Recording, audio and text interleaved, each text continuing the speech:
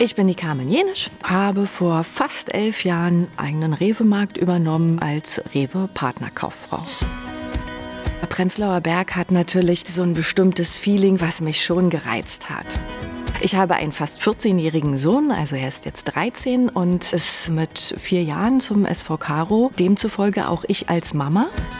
Ich habe dann mit kleineren Aufgaben angefangen, das Team zu unterstützen, in einer ehrenamtlichen Tätigkeit die Trikots mal zu waschen, für Proviant zu sorgen. Ich bin dann auch diejenige, die läuft und die Wasserflasche holt, wenn sie in der Kabine vergessen wurde.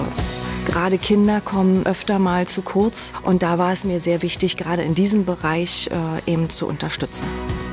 Also ich wurde tatsächlich schon mal angesprochen, äh, ob ich die Frau bin, deren Name auf den Trikots von den Kindern zu lesen war.